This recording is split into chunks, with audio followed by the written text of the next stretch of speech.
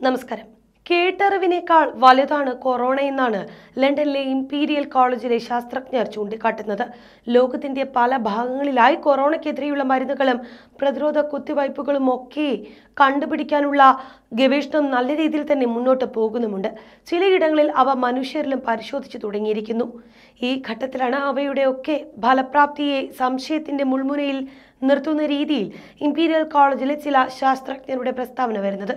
കോവിഡിനെതിരെ ഒരു വാക്സിൻ കണ്ടുപിടിക്കുക എന്നത് കേവലം ഒരു സ്വപ്നം മാത്രമായി അവശേഷിക്കാമെന്നും ഭാവിയിലും ഈ പകർച്ചവ്യാധിയെ നേരിടാൻ മേഖലാടിസ്ഥാനത്തിലോ ദേശീയ അടിസ്ഥാനത്തിലോ ഉള്ള ലോക്ക്ഡൌണുകൾ മാത്രമായിരിക്കും ഏക ഉപാധിയെന്നും ലണ്ടനിലെ ഇംപീരിയൽ കോളേജിലെ പ്രോഗ്രസർ ഡേവിഡ് നബാറോ വ്യക്തമാക്കുന്നു.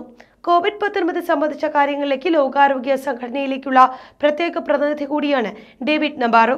ഇത്തരത്തിൽ ഒരു വാക്സിൻ ഉണ്ടായേക്കുമെന്ന അനുമാനത്തിൽ എത്തിച്ചേരുക പോലും അസാധ്യമാണ് എന്നാണ് അദ്ദേഹത്തിന്റെ അഭിപ്രായം.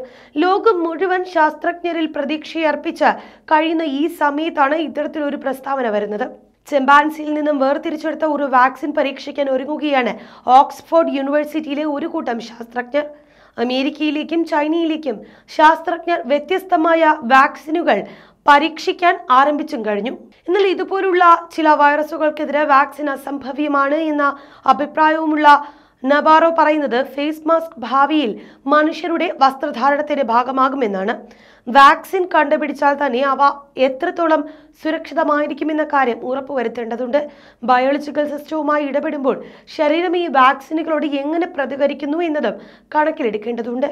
ഏകദേശം ഒരു ദശലക്ഷത്തോളം പേർ മരണമടഞ്ഞേക്കാമെന്ന റിപ്പോർട്ട് പുറത്തിറക്കി ബ്രിട്ടനിൽ ലോക്ക്ഡൌൺ ഏർപ്പെടുത്താൻ ഏറ്റവും അധികം ശ്രമിച്ചതും ഇംപീരിയൽ കോളേജ് ആയിരുന്നു ഈ ലോക്ക്ഡൗൺ ആയിരങ്ങളുടെ ജീവൻ രക്ഷകൻ ഉതകുന്നുണ്ട് എന്ന് സർക്കാർ അവകാശപ്പെടുമ്പോഴും അതിന് മതിയായ തെളിവുകൾ കൊണ്ടുവരാൻ അവർക്ക് കഴിഞ്ഞിട്ടുമില്ല.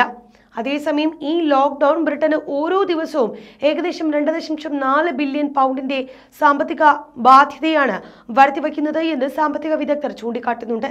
കഴിഞ്ഞ നൂറ് വർഷങ്ങളിൽ കണ്ടതിൽ ഏറ്റവും വലിയ സാമ്പത്തിക പ്രതിസന്ധിയാണ് ഇതെന്നും അവർ പറയുന്നു.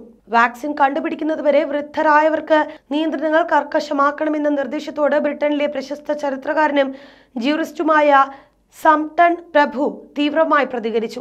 ഇംപീരിയൽ കോളേജിന്റെ റിപ്പോർട്ട് പിന്തുടരുന്നത് മനുഷ്യാവകാശങ്ങളുടെ നഗ്നമായ ലംഘനമാണ് എന്നാണ് അദ്ദേഹം ചൂണ്ടിക്കാട്ടുന്നത്.